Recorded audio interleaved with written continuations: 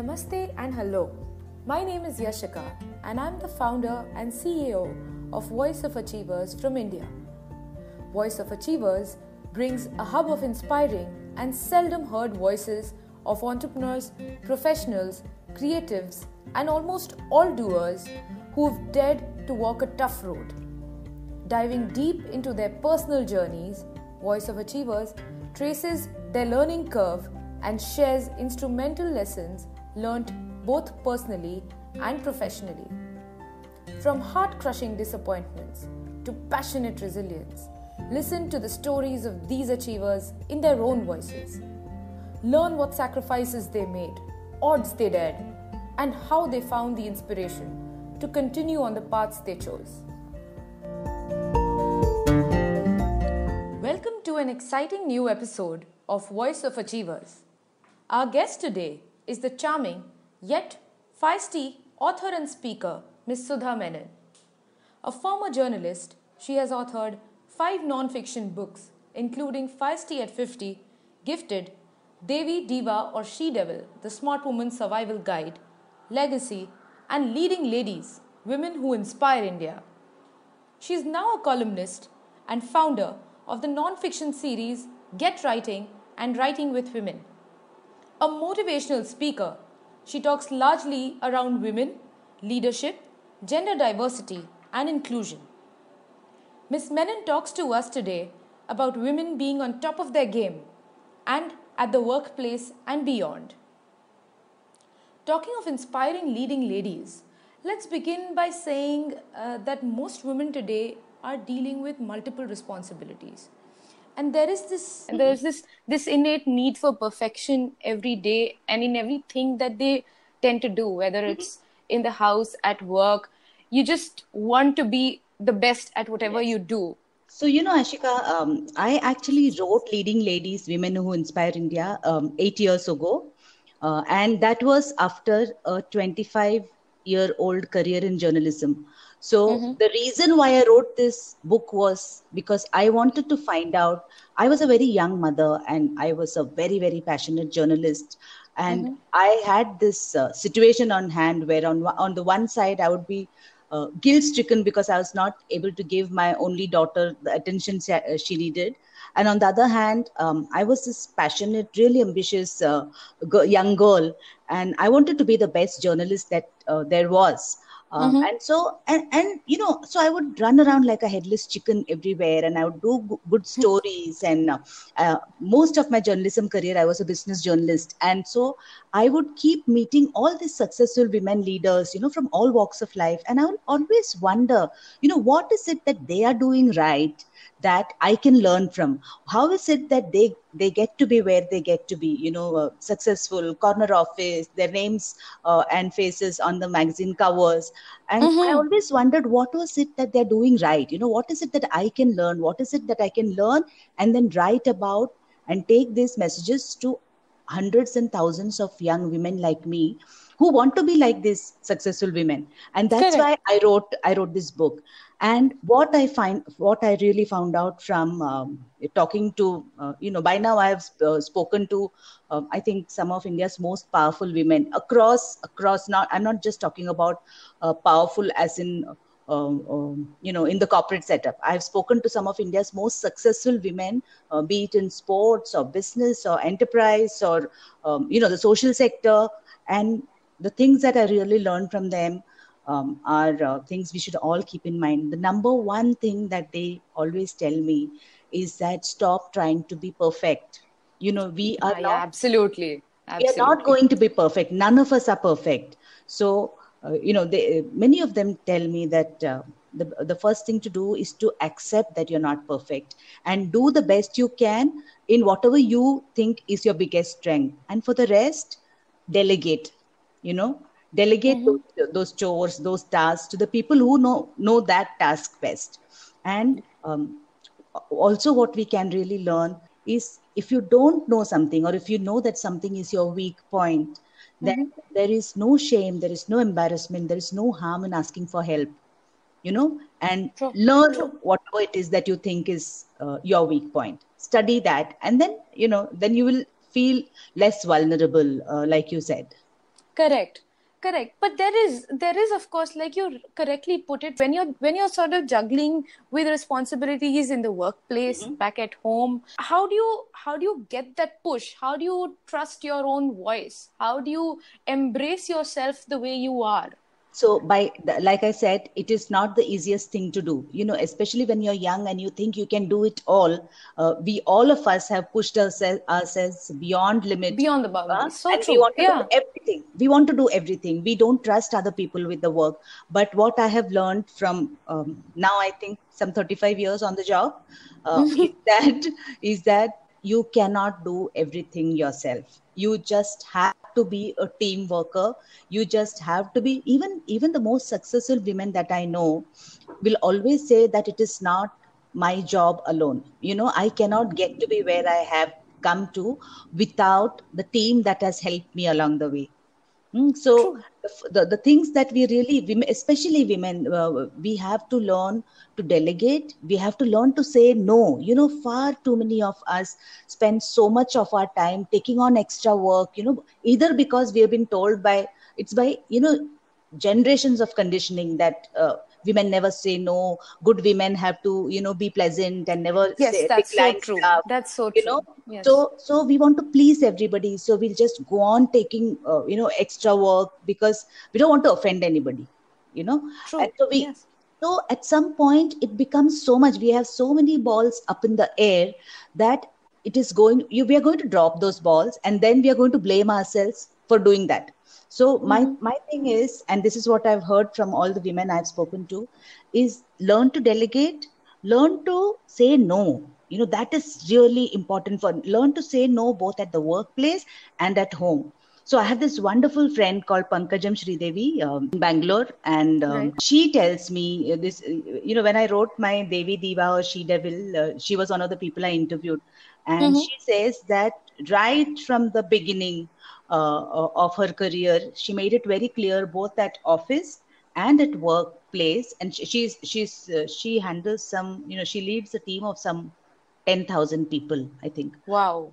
She says that there is no way I'm going to be able to cook elaborate meals or entertain or go for weddings or birthday parties during the week. So mm-hmm. her family knows that much as she loves the family setup she lives in, she's not available for these things on weekdays.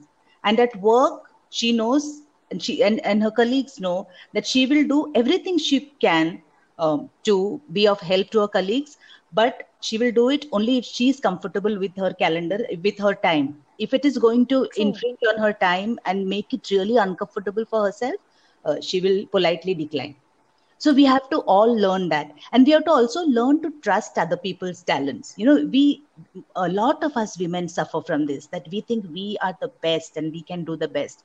And it is it is harmful to ourselves. And it is That's demoralizing so for the teens that you work with that you don't trust them. So we have mm-hmm. to the people that we have hired or the people who are our peers and colleagues to do that they also are talented people. And so just hand over whatever it's their job to them and trust them to do that job well. Absolutely. Absolutely. But clearly what i pick out of this is uh, prioritizing and time management. Yes and what helps yes. and uh, what helps prioritize is at the mon in the morning in the very beginning of the week or at the beginning of each day make a list of things that you have to achieve and then prioritize. These are the absolute things that have to be done on that particular day. Some of the things can be done by evening and some of them are not important enough for you to do so either mm-hmm. delegate it or decline it and say that I'm not going to do this. It's not going to be of use to me to do this. It's very important for us women to do. Otherwise, we just drive ourselves crazy, we spread ourselves too thin, and we become ineffective in whatever it is that we are really hired to do. So true. And uh, it, it also adversely affects uh, the health and wellness of uh, so many people who are 100%. trying to like you said uh, please so many people and then you end up harming no one else but yourself. Yes. So one of the things that also is very important and this i have learned uh, uh lessons learned hard even on my own. You know i have i am a crazy sort of or i used to be a crazy sort of workaholic. I love it when i'm at my table or i'm meeting people and i, I need to pack my days with activities and mm-hmm. then one day you look up and you realize that your health is poor, you have not uh, socialized with anybody. Your friends have all disappeared because you don't care enough to make a telephone call to them once in a week. Uh, your mm-hmm. family is um, you know offended because you you don't turn up for uh, events. You don't uh, uh, you don't do any of the things other than work. And it affects you. You know your your emotional health is uh, uh, affected. Your physical health is affected. And you're not the richer for it so i Correct. always say that me time and much as cliched as it sounds it is absolutely absolutely necessary to spare you know to keep a little time for you to rejuvenate yourself rejuvenate your soul um, you know bond with your family bond with your father and mother bond with your children friendships are so important I, and i say this with uh, you know with great emphasis that for for i mean everybody deserves friends but for women especially friendships female friendships are so important because um, men have their old boys network and you know that's so true that's a lovely thought yes. that's a lovely thought. we are so caught up in being worker bees at uh, work and also at home that we don't we stop having friends we we stop having relationships where we feel secure to vent and to share our stories to express our concerns and it gnaws away at your insides. And um, that's not a nice thing to happen. So female sure. very very important. Doing something for yourself whatever it is you know even if it is just lighting a lamp and sitting in front of it for 10 minutes every evening uh, mm-hmm. or, or learning a musical instrument or just going for a walk in the morning it is so crucial for all of us it's such, such a vivid and such a beautiful image already of the life. And it just but, takes 10 minutes. It's so true, so true. But uh, so tell me something when you're talking about it's it's great to have me time, and I totally agree with you. Uh, amidst so many things uh, around you, the responsibilities, the juggling, mm-hmm. uh, the chaos, uh, there is also that need for women at least to upgrade themselves or to enhance their skills, whatever 100%. is existing. Uh, what and how and what uh, do you do to find time to do this? And how do you s- sort of move up your own game? Or so so for this for this the first and foremost is to ditch the guilt.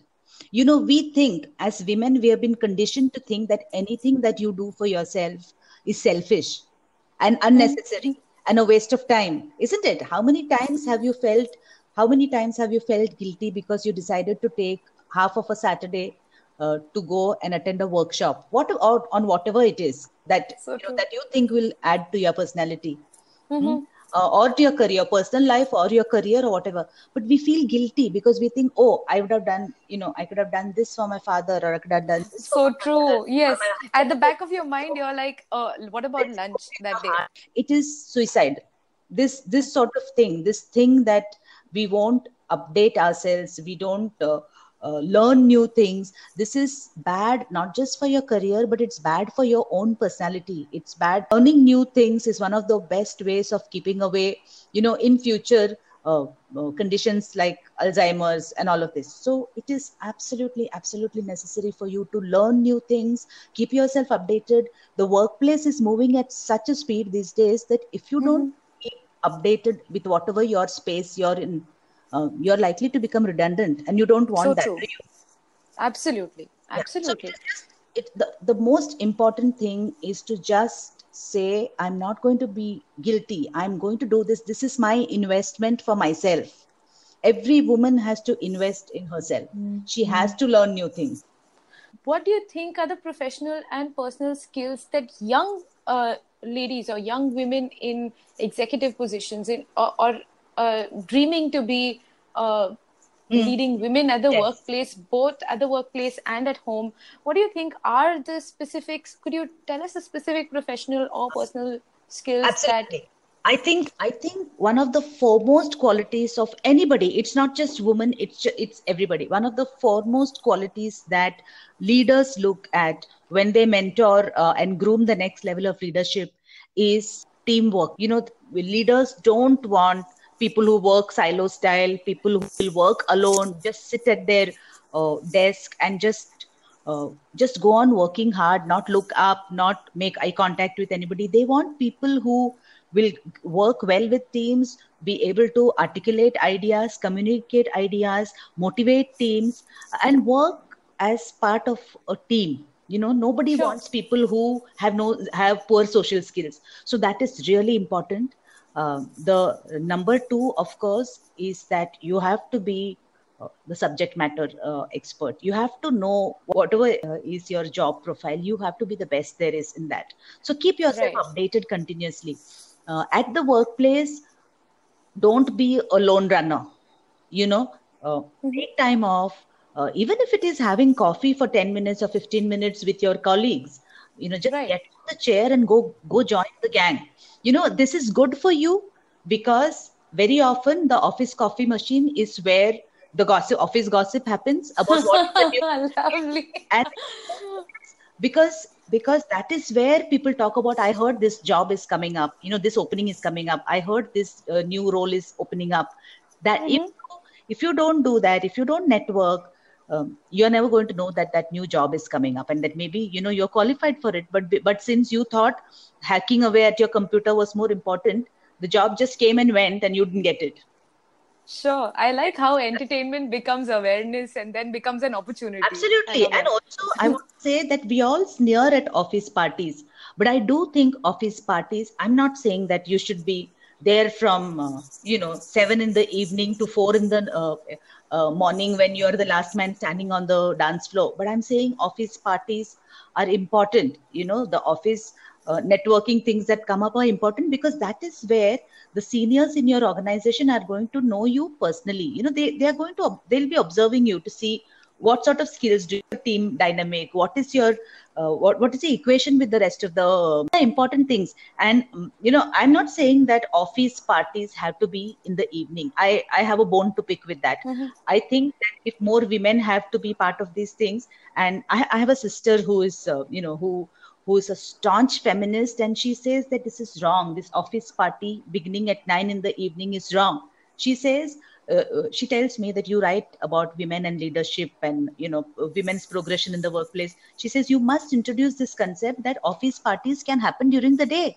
sure. it can happen from lunch to evening mm-hmm. so that more women can you know more women can participate in that of course and i 100% uh, back her on this idea that it doesn't have to be uh, the conventional uh, office party where you uh, you know drink yourself to death Correct. and late night it doesn't have to be that but i do think that you have to occasionally socialize with uh, your office colleagues and your seniors. Of course. Uh, beyond work.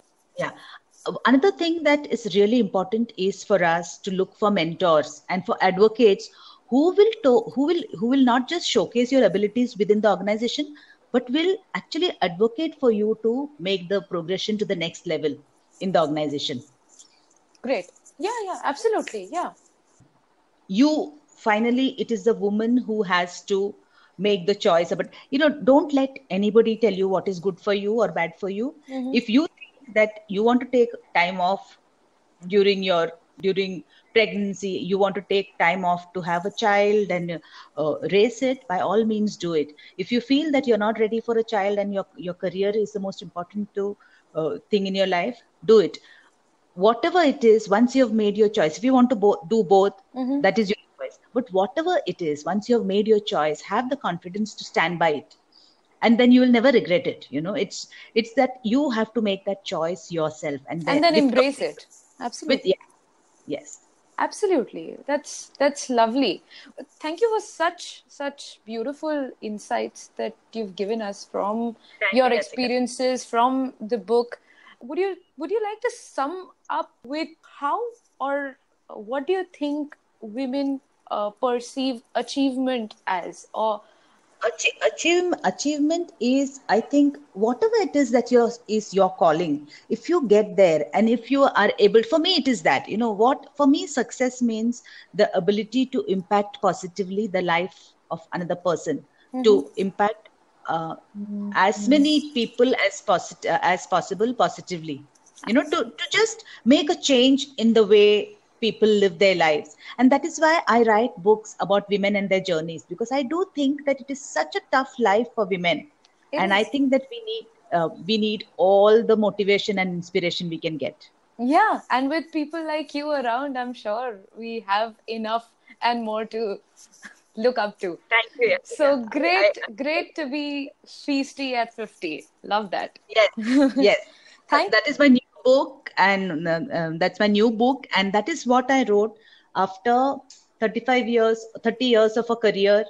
Um, I, you know, across across cultures, there's this thing that a woman over 40 is downhill. You know it's all downhill for her. She's over the hill. Right. And i beg to differ. You know i started writing about the experiences of being a woman of that age. And i can tell you safely that i've i'm now more feisty than i've ever been in my life. Mm-hmm. you know i'm more empowered. I feel more i feel liberated.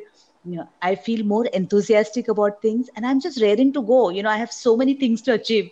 So feisty is a feisty at 50 is for all those women who have been told by you know the guys in the entertainment business in media uh, or in all the ads that you see that uh, older women have no role in life. Mm-hmm. i i completely beg to differ clearly you're all up there and roaring to go lovely yes. thank you so much thank you for your insights and thank you for thank your... you very much thank, thank you, you for being much. on the show thank you Thank you for listening. If you like this podcast, don't forget to subscribe to Voice of Achievers and share the link with your friends. Tune in for brand new episodes every Sunday at 11 am. Stay updated and stay connected by following us on Instagram at Voice of Achievers. You may also send us guest suggestions or topics that you'd like us to cover with our guests by writing to us. Send out an email to editor at voiceofachievers.com with your name followed by your suggestion. Trust me, we are listening and we cannot wait to share more such voices to empower you.